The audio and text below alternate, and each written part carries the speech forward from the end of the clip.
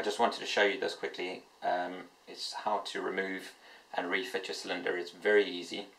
Um, this is a BSA Scorpion SE, uh, very similar to the Ultra, it's just a bit shorter. Um, and the old Scorpion and old Ultra are identical apart from this little bit here. Um, first thing you want to do is just dry fire your rifle until it's completely empty. This one is empty and I've confirmed that by just loosening off the gauge. No air is coming out. I'm happy that that's empty. Right, um, now um, this one, let's give it a go. There we go.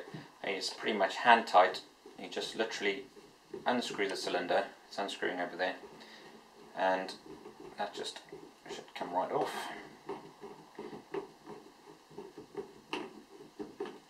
There we go, that comes off. Um, and that's your action.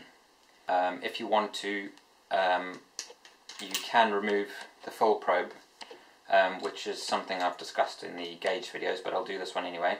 Just turn, turn that about a quarter turn in, which then loosens up the little locking ring inside there. Use a little pointy tool. Should be free to turn, just undo that.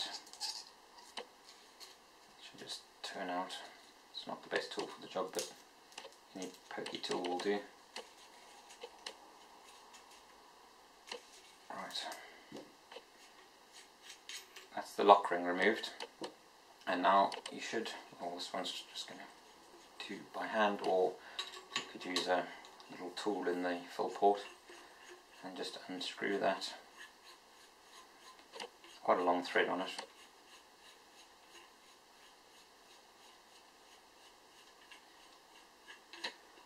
There you go. Um, and you screw that back in. Should be fairly loose, then you should feel a bit of resistance and that's the O-ring starting to um, grip into the cylinder. Tighten it up a bit and then fit the lock ring. Oops.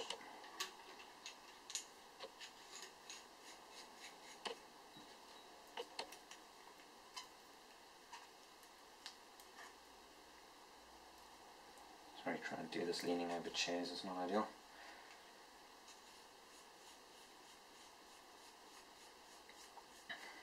Right, just make sure that the cap can screw on. If it if there's a gap when you've screwed the cap on, for example there, um, it means the valve hasn't been screwed in enough and needs to be screwed in a bit more, in which case you would just tighten that, so another turn, tighten the lock ring up another turn, and then try it again until it, you know, until it can fit on without any gaps. Um, right, once you've done that, make sure there's no dust or dirt on there. And literally just put the cylinder back on and screw it on. You don't need to tighten it stupidly tight just hand tight's good enough so there's no gap. You can just tighten it up like that. When you when you fill it with air it will lock it all in place. And before you do that you'll notice that this fill valve's sticking off to the side slightly. So if you want to um, point angle it down just make sure the lock ring is loose, otherwise you won't be able to undo it. Um, doing this blind. I need to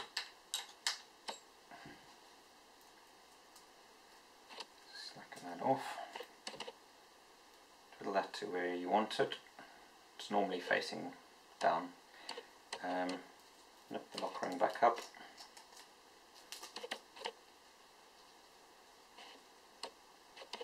Right. Um, and then fill it up and you should be good to go. That's all. Thank you